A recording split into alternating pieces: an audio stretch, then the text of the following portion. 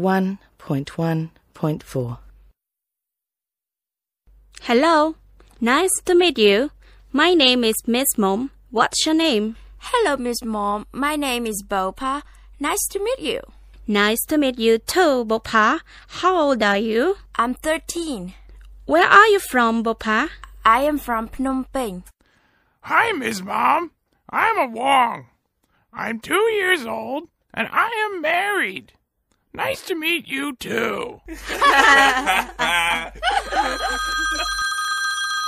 It's time for class. See you later. Bye, Teacher Mom.